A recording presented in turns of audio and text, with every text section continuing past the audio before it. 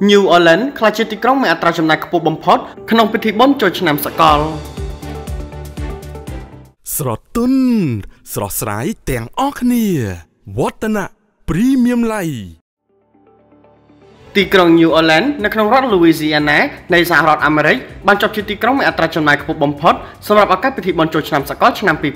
2024នេះបើតាមការចុះផ្សាយពីសារព័ត៌មាន Forbes ដោយឡែកគេហទំព័រ Travel Mag ក៏បានស្រាវជ្រាវនិងរកឃើញថាតម្លៃបន្ទប់សន្តាគារនៅទីក្រុងមួយនេះមានការកើនឡើងរហូតដល់182%ឯណោះបើធៀបទៅនឹងថ្ងៃធម្មតាពលសម្រាប់ការកក់បន្ទប់រយៈពេល3ថ្ងៃពីថ្ងៃទី30ខែធ្នូរហូតដល់ថ្ងៃទី2ខែមករាគឺមានតម្លៃរហូតដល់ទៅ1190ដុល្លារក្នុងមួយយប់ដែលជាតម្លៃទាបបំផុតប៉ុណ្ណោះជាមួយគ្នាទីក្រុងម៉ាយ៉ាមីនិងទីក្រុងញូវយ៉កជាប់ចំណាត់ថ្នាក់ទី2និងទី3ជាទីក្រុងមានអត្រាចំណាយខ្ពស់បំផុតលើលោក ដែលតម្លៃបន្ទប់សន្តាគាររយៈពេល3ថ្ងៃគឺប្រមាណ1184ដុល្លារនិង1164ដុល្លារ